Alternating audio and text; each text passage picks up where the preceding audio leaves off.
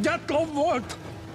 Hogyan oltjuk el? Helikopterről vizet öntünk rá, mint egy Nem, nem, erdőtüzre. nem, nem, nem jól látják a dolgot. Ez nem sima tűz.